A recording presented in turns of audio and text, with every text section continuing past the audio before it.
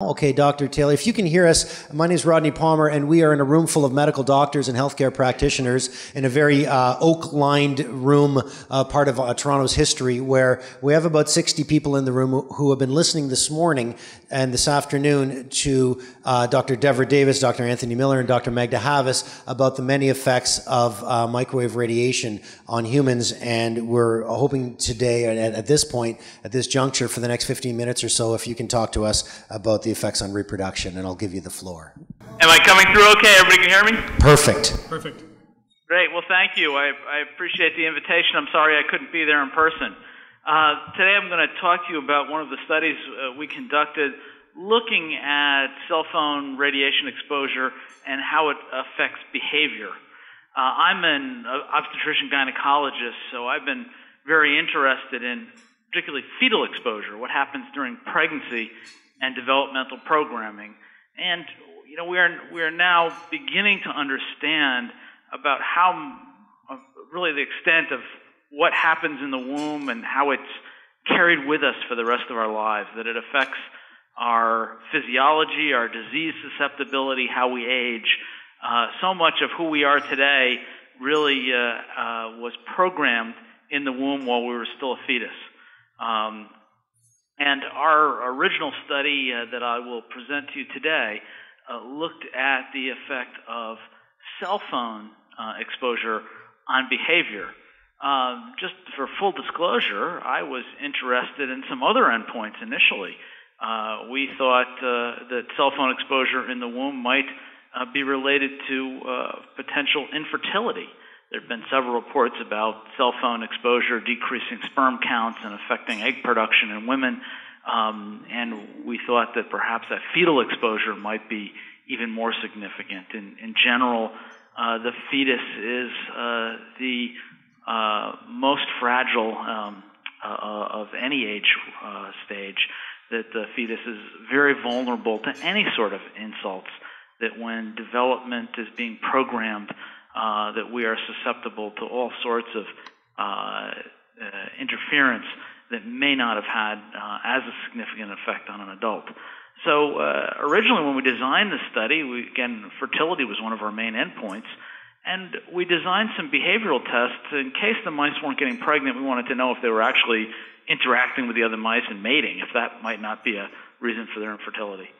Turns out, in the end. Uh, uh, that these mice actually were fertile, that we did not see a, uh, a decrease in fertility. The, the, what was designed as the control experiment uh, turned out to be the one with the most significant findings, that there were significant effects on the brain, the way the brain develops, the way it's programmed uh, in the fetus, and uh, the behavior of these mice when they get older.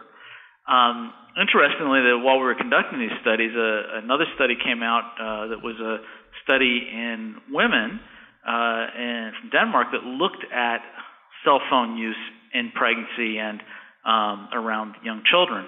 And what they found in that study was that there was a uh, significant effect um, of cell phone use during pregnancy and subsequent behavior of those children. Um, uh, and uh, this showed that at least there was that clear association between cell phone use and uh, behavioral problems in children uh, and humans. Now, of course, you can always make uh, the claim that these studies just look at association. They don't prove cause and effect. Uh, you know, the critics would say, well, if the mother was talking on the cell phone all the time, oh, maybe she was ignoring her children, and that led to behavioral problems. Um, we really wanted to get at a study that would tell us whether this could be cause and effect, where there would be absolutely no difference uh, except exposure to that cell phone radiation. And to that, we we um, we turned to an animal model. You can just go to the second slide. Um, again, the the idea was that cell phone use may be uh, more harmful to a fetus even than an adult. Again, a very vulnerable stage. And many women, as is shown pictured here, uh, hold that cell phone right next to their abdomen when they're pregnant. Uh, when they're texting, they may clip that cell phone right to their waist onto a belt or pants. They may hold it in a bag at their waist, uh, um, over their shoulder, and hanging at their waist right next to their baby. So the the proximity is there uh, to perhaps uh, uh, do more damage to the fetus the way we use the, cell phone uh, during pregnancy. If you go to the third slide, we'll get into our study. This was reported just two years ago in uh, Scientific Reports, a Nature journal, um, and we looked at uh, the uh, effects on neurodevelopment behavior uh, from uh, cell phone exposure. Um, if you go to the next slide, uh, this uh, again will just start to outline what we actually did in this study. We looked again at the programming of the brain, how the brain developed uh, with or without cell phone exposure. And what we did is we, we took these cell phones and we put them over the pregnant uh, mouse cage.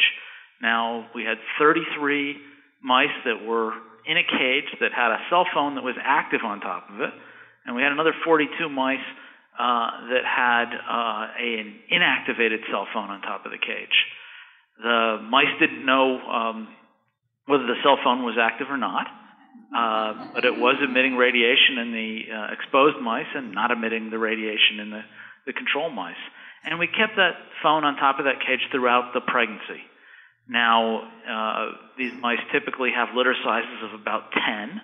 So again, there are 10 times as many mice exposed um, as a fetus as there are pregnant mice listed here. So those 33 pregnant mice that were exposed uh, uh, each had roughly 10 um, offspring. So we're looking at over 300 uh, radiation exposed and over 400 controls. If you go to the next slide, um, this uh, describes in a little more detail uh, the study. We had these cell phones that were muted and silenced. So again, the mice they weren't making any noise to indicate whether they were on or not. The mice had no way of knowing whether the phone was on or not. Uh, these were fairly standard cell phones. Uh, SAR rating pretty typical. We, we just used commercial cell phones uh, that were available to us uh, with a local carrier, and uh, again simply put the uh, cell phone uh, either the muted and silenced but active cell phone that was emitting the radiation, uh, or a uh, cell phone that was turned off over the uh, control cages. Um, and the, these phones were positioned right at the top of the cage. Uh, there's a little feeding bottle that comes down into the cage uh, right in the middle, and we just put it right next to that.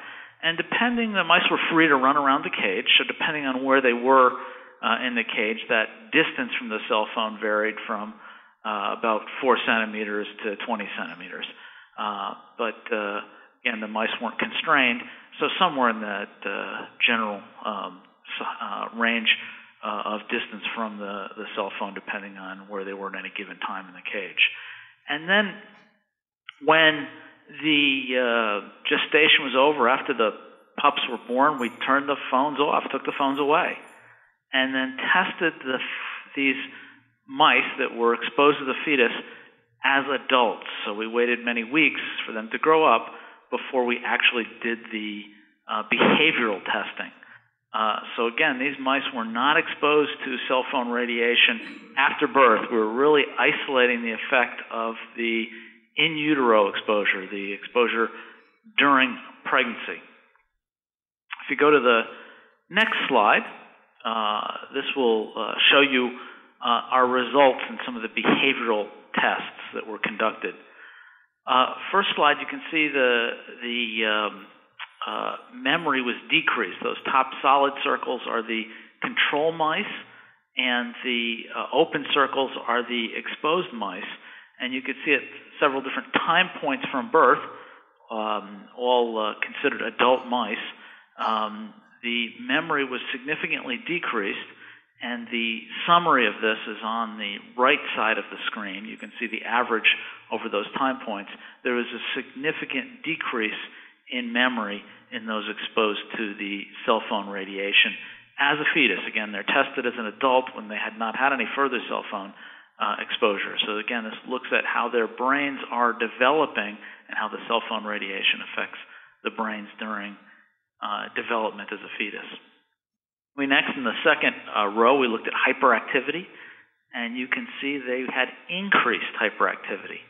Uh, they were much more active, moving around the cage more. Um, again, significantly increased at each of those time points. Um, anxiety was actually decreased. Um, they were running around the cage. They were more likely to come out in the in the bright light, uh, and weren't nervous about this at all. They would be uh, um, very relaxed about this. So uh, next uh, next row shows fear. They had no change in fear. So again, poor memory, very active, but uh, not anxious about this. They were just bouncing off the walls of the cage without a care in the world. Um, significantly different behavior uh, than the mice that weren't exposed to cell phone radiation. And again, we know there was absolutely no difference between these two groups of mice other than that uh, fetal cell phone exposure. They're the same genetic background, the very same diet, the same cages, the same environment. Uh, so, uh, no other difference that could account for these uh, behavioral differences that we found. Clearly, they look very different.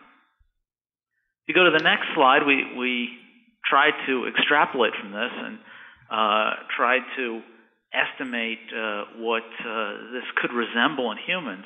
And the closest thing we found was uh, attention deficit hyperactivity disorder or, or um, ADHD, sometimes just called attention deficit disorder. But uh, this is on the rise in the United States. It's increasing just as cell phone use has increased. And it involves hyperactivity, difficulty paying attention, and impulsivity. Uh, exactly the same type of behavior we were seeing in the mice.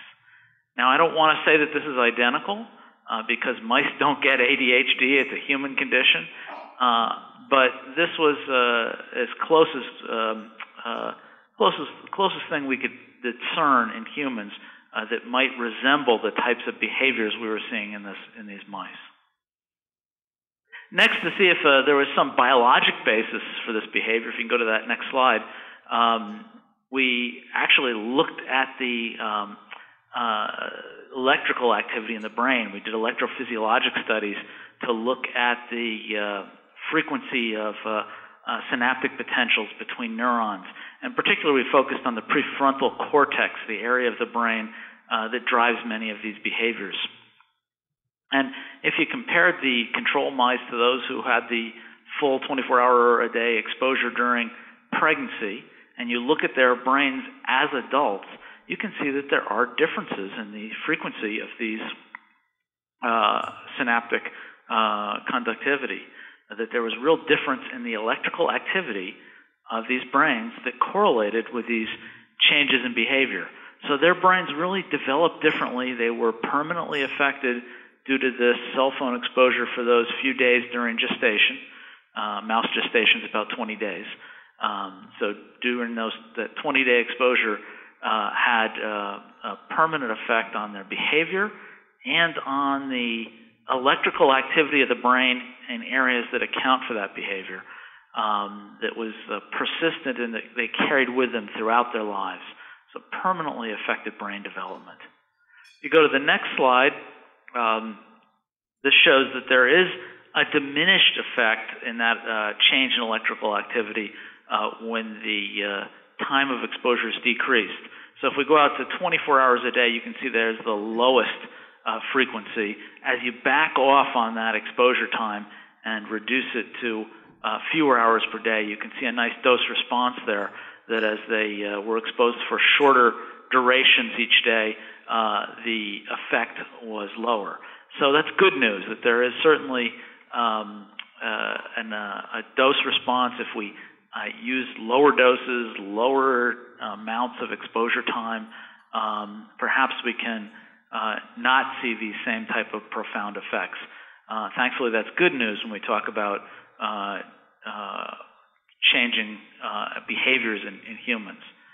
If I go on to the next slide, again, what are the implications uh, for women, especially in pregnancy? What is the implication for our, our uh, the fetus that may be exposed to these um, uh, frequencies? Again, we haven't proven that this uh, occurs in humans. Mice are smaller; they have thinner skulls. But I think the uh, the thing that is most uh, concerning for me is that when you have epidemiologic studies that show that the association is clearly there in humans. That uh, women who spend more time on the cell phone when they're pregnant have a higher chance of having a children a child with a behavioral disorder. Um, when you have when you know that this is happening in humans, and you have a mouse study clearly that shows cell phone radiation can cause this problem, I think that's good enough reason, uh, a very powerful reason to think that. Uh, that that association in human really is truly causative, and we should think about warning women about cell phone exposure. Um, again, as shown in this picture, women who are pregnant often are holding that cell phone and texting while that phone is right on their abdomen, uh, right next to their baby. Or they may put it in their bag at their waist that might be right next to the baby, or clip it onto their belt. Um, so the exposure uh, is exactly there, right next to the baby um, and uh, um, moving it away uh, is a, probably a very good idea. Why hold it right over uh, your pregnant abdomen and affect your baby?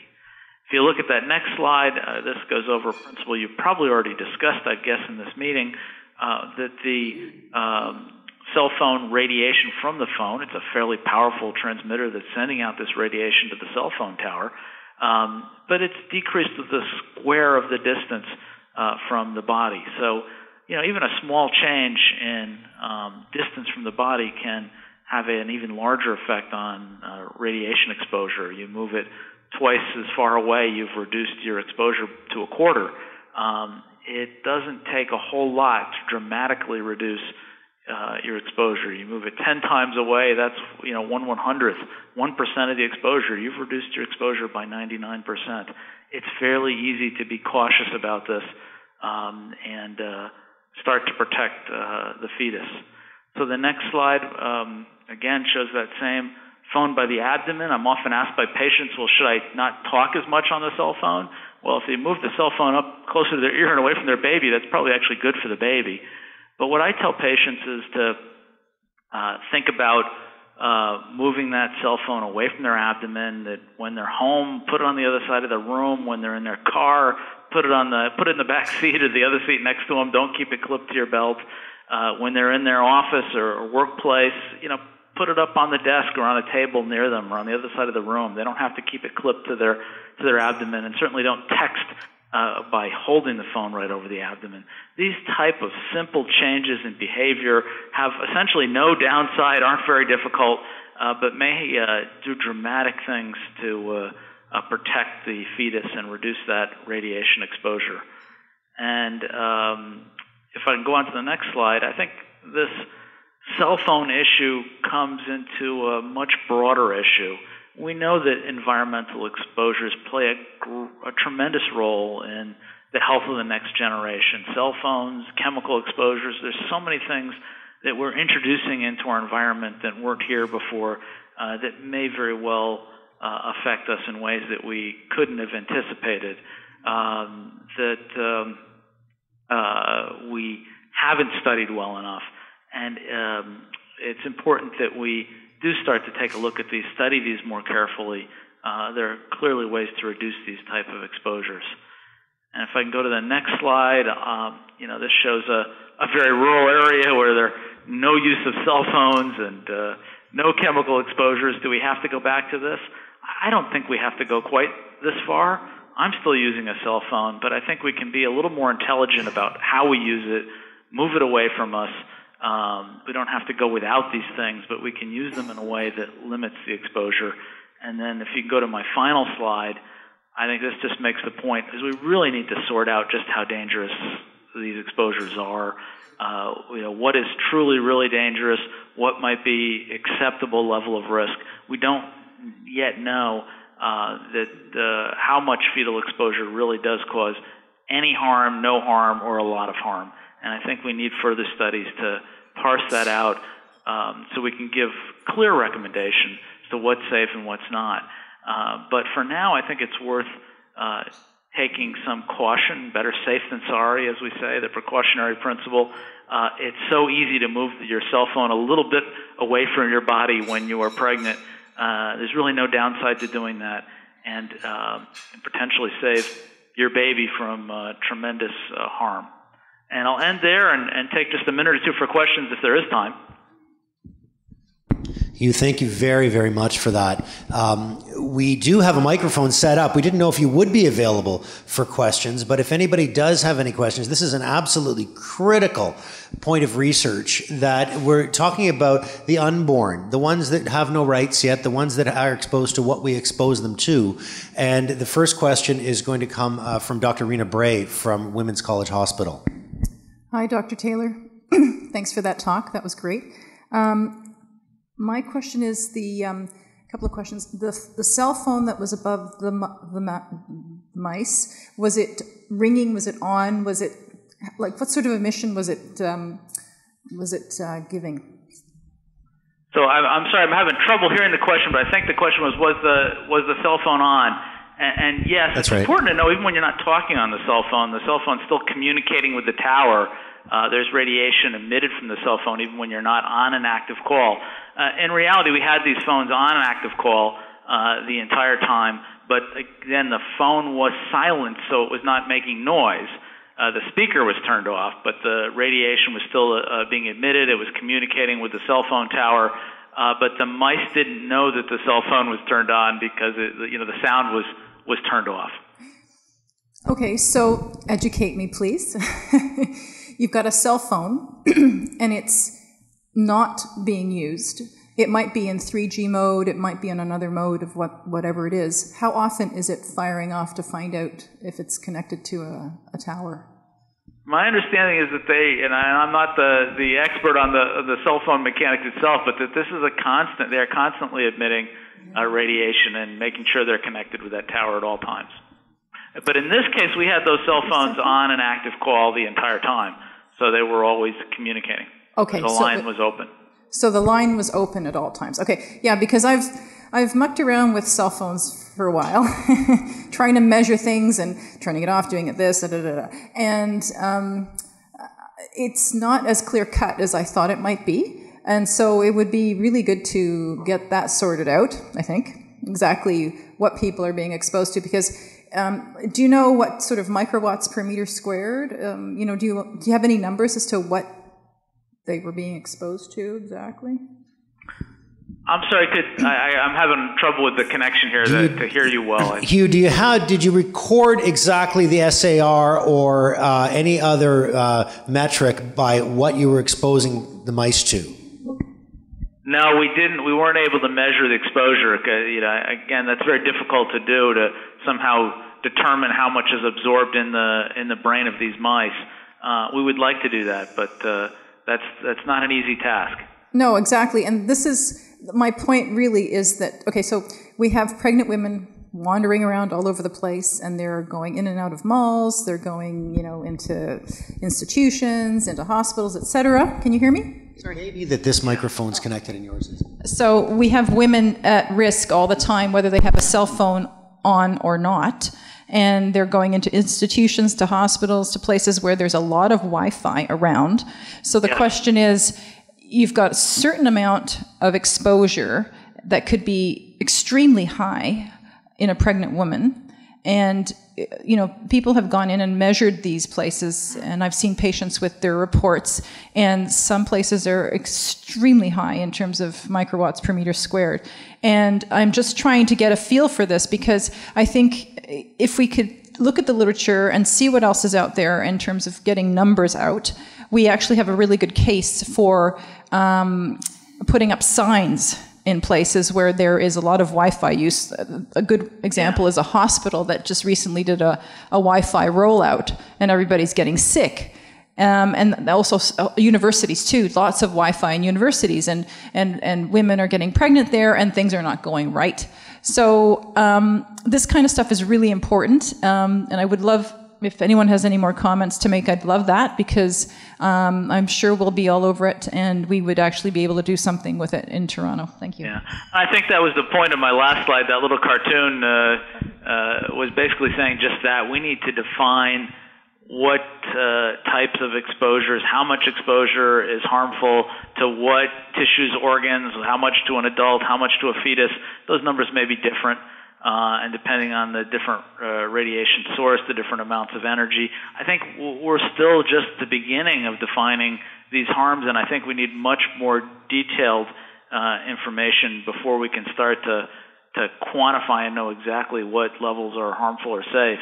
But I think we can already say that the levels we're exposed to now uh, have consequences, uh, and we need to do further studies to find out exactly what thresholds uh, are, are the ones we should be setting uh, uh, limits, notifying people, or legislating. Okay, I think I do have to uh, sign off now, but thank you very much for having me. Again, I wish I could have been there in person. You, thank you very much. And there's a huge number of people uh, lined up here. We're going to hope that um, Dr. Devra Davis uh, will uh, stand for you, uh, perhaps for the rest of the questions here. And we, we can't thank you enough uh, for for taking time today. Thank you again. Thank you. Bye bye. So, um, Frank's suggestion, Devra, if you've consumed enough food, there's been enough nutritional absorption for you to stand up here. Maybe you could sit. Uh, Devra worked, has worked closely with you uh, recently on some of this work and is uh, has certainly, if not worked on it, has read it and understood it and been involved with trying to bring it to the policymakers in the United States. So, if there's specific questions for you, would it be be appropriate, Devra? Why don't you come up here then? Um, care for a chair? Whatever. All right. We don't have to spend a lot of time on that decision. Okay. Right. Okay. Okay, I just wanted to make a comment about that study based on just what Dr. Taylor said. When a cell phone is on and when you're talking into it and someone is receiving information, that's when you're going to have the highest level. So if there's silence, the radiation level is lower. Sim- similarly, uh, when someone is talking to you and you're listening, the levels are going to go up. So if you've got a cell phone that's on mute, it's not transmitting any information. Um, so the level of exposure will, will vary from airplane mode, which is the lowest, to having it off airplane mode with perhaps your cell phones have multiple. I don't know how old the cell phone was that he used, but they have four different antennas. And depending on which antennas are on, you're going to have that kind of radiation. Um, the other point I wanted to make is that if you have a metal cage, it will actually shield some of the microwave radiation, so it depends on the size of the um, wires in the cage. And one of the things I would strongly encourage him to do, perhaps through Devra, is they can still measure, they can't measure SAR, specific absorption rate, but they can measure the power density. And that's the amount of radiation coming through. They can still do that. Um, all they have to do is use the same cage, the same cell phone, uh, under the same conditions, and put a meter inside the cage, and they can, they can measure it very close to the phone versus right down on the bottom where mice are going around. And this information, just as Riina suggested, is incredibly important. Even though we can't make the uh, uh, strict um, connection from a you know, a, a lab rat to a, a, human being, just knowing what the exposure was that had the effect on the animals is really important. And my guess is that um, the way that I understand it was set up, it's going to be fairly low exposure compared to what we're exposed to in our regular lives using a cell phone. Yeah, he did. I think he did say it was engaged in a call. So somehow they had another phone that they would call and then keep the thing engaged in a call during that period. Yeah. Is that right? yes. Is that right? Yeah. So yeah. Boy, what you know about cell phones. You have to turn on a tape recorder and have yeah. just play music. Is that right, eh? So that you're transmitting. Yeah, I think I, you know, I will check on on that. But you're absolutely right. The exposures were relatively low just because of the distance. It was at the water bottle, as I'm sure he told you, and so it was at the water bottle of the cage. And I, the paper says it was a seven to I think 15 centimeters, which, as you know, is several inches away. And again, you know, these animals don't use the phone, so you were getting the whole body, but they do drink a lot. You know, that, that uh, rodents need a lot of water. So, and they both and both cages had the had a phone at the water bottle. In one cage, the phone was on, and one cage they were not. Right. Um, according to the CDC data, um, one in ten children now have ADD or ADHD, and the rates of autism are rising very rapidly. right. at a significant cost to both the education system, to the health system, and to family life and welfare. It is interesting to me that given these costs, that Health Canada, when we raised this study with them, um, actually wrote back to us saying that they could not consider the study uh, on the basis of two things. One was we couldn't get the exact measurement of the radiation in the cage. And the second, which was very frustrating, was on the basis that um, there were confounding factors. So almost every research study has a paragraph, and especially epidemiological studies, saying there could be other confounding factors. So that would give me an indication that Health Canada is choosing to ignore the majority of the science that shows harm on the basis of confounding factors. Well, this, this raises yet another reason why I think that a white paper should be prepared with people like Professor Taylor, the, the fellows that I presented today, Suleiman Kaplan, the guys from Turkey, Nesrin Seyhan, a whole bunch of people who've actually done this research. And there's a lot of research. It's not one study. You know, that's the thing I want to stress to you. Hugh Taylor's study is part of a substantial literature. And, you know, you can pick, thing, pick it apart, but really, you can't make it go away. Another thing, and I'm, i know many of you are aware of, is that South Korea was one of the most wired countries of the world. South Korea has two things that has developed there recently. They have a phenomenon that the neuropsychiatrists characterize as digital dementia. This is a classification of a disease in children, digital dementia, characterized by MRI showing lack of development of the right hemisphere, the hemisphere of the brain thought to be more responsible for empathy, eye contact, the ability to anticipate the consequences of your action. Autism. Okay?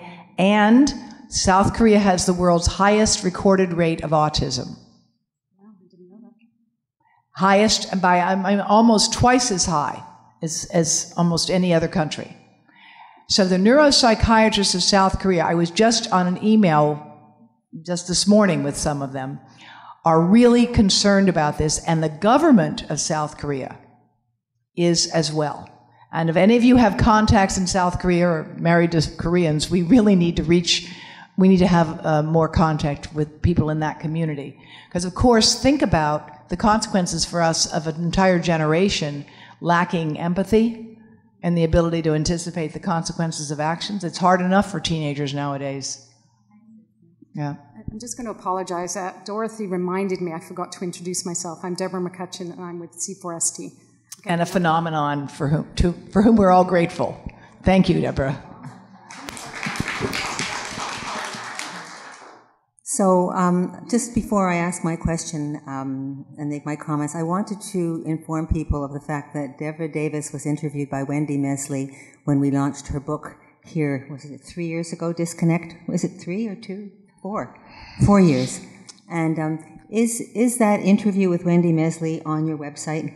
No. It'll be on the CBC website, like everything Is it else still on? No, that not sure. everything Yeah, is I on. CBC mean, is the, you know, is the, one of that's the the best point. websites in the world for that. Yes. Okay, You know, good. well, maybe we should highlight it, and maybe you could put it on your website. because Thank it's you, a Dorothy. Really valuable. I'm looking for educational tool. volunteers who can always help us. Our website is woefully uh, understaffed and inadequate. But I, what the point I would make is that Wendy Mesley is one of the world's best reporters on this issue. She interviewed uh, George Carlo in the 1990s when the Clinton administration, of which I was an official, invested uh, with the industry $27 million of industry money in a joint government industry program to study cell phone radiation that produced no real results.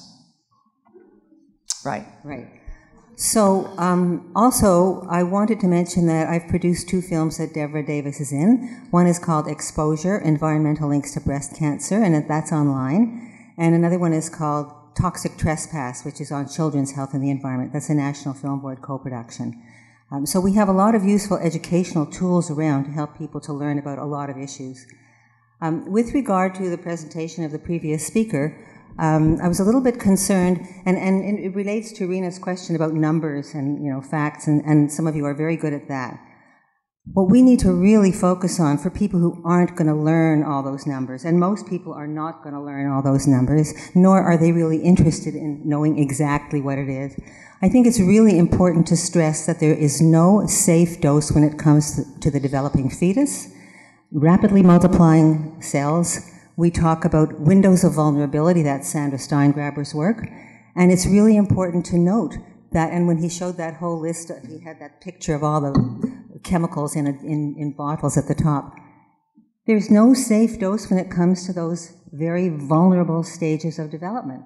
So that we, we, we need to say that there's no safe dose when it comes to those periods of vulnerability that are so important. And as we've said, there will always be pregnant women, there will always be growing children, and there will always be little girls with developing breasts and little boys developing their sperm. I mean, there, there's no safe dose, and we really need to say that you've got to take it away, don't keep it near them, and let them understand that this is a precautionary principle because we, we're, we're fooling around now with numbers which are important to some people, but really the explanation has to be that we have to stop it. Well, as Dr. Miller said earlier today, the concept of ALARA, as low as reasonably achievable, has been accepted in pediatric radiology for years. You have to do radiologic imaging if you have a child with an injury or a concussion, but you want to have the dose as low as reasonably achievable. And I think that that standard ought to be applied to these devices as well. I mean, what other known or possible carcinogen do you want your children to play with? The idea that this government is going to be giving children a known or possible carcinogen to use in school, makes very little sense to me. When there's no evidence that the wireless radiation has any role to play in improving their learning. If you had wired computers, we're not opposed to technology in education. I'm working with a group in South Africa now that has succeeded in a private school to have only wired computers. Only wired. And it wouldn't be that hard. However, Apple, which has had this competitive edge, has succeeded in convincing educators, without any data to support it, that they need wireless. They do not. There are no data to show that the wireless devices actually improve learning. Right. Just before we get to the last two questions, thank you, Dorothy. And Dorothy spoke to, yes, you, the, the, this whole idea that we don't have to fully understand it in order to prevent it.